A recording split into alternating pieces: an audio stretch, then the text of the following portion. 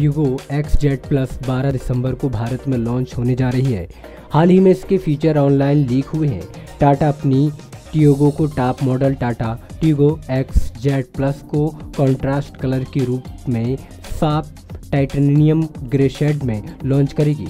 Tata Motors नई Harrier SUV के बाद अपनी नई हैचबैक कोटनेम 45X को जल्द लॉन्च करेगी।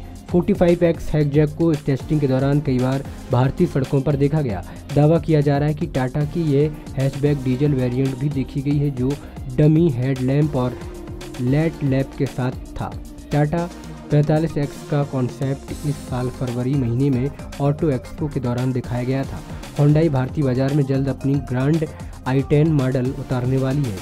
इस कार को सड़कों पर टेस्टिंग के दौरान कई बार देखा गया। रिपोर्ट की माने तो यह कार मौजूदा वर्जन के मुकाबले कम ऊँची और ज़्यादा चौड़ी होगी। इसके अलावा इसमें हेक्सा गुनर फ्रंट ग्रिल और बड़ी हेडलैम्प के साथ टेल लैम्प की दी जाएगी।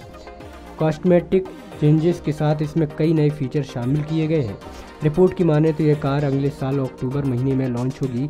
मारुति सुजुकी अपनी नई वैगनर आर को लॉन्च करने की तैयारी में है। रिपोर्ट के मुताबिक इसकी टेस्टिंग चल रही है। ग्राहकों की ज़रूरत को ध्यान में रखते हुए कंपनी इस गाड़ी में कई नए बदलाव कर रही है। फोर्ड अपनी फिगो फेस लिफ्ट को जल्द भारत में लॉन्च कर सकती है। रिपोर्ट के मुताबिक इसमें अस्पायर फेसलिफ्ट जैसा रेगुलर ग्रिल दिया जा सकता है। इसके अलावा इसमें बड़ी और स्टाइलिश अलाय व्हील दी जाएगी। ये कार ड्यूल एयर बैग्स और ईवीडी के साथ एबीएस फीचर से लैस होगी।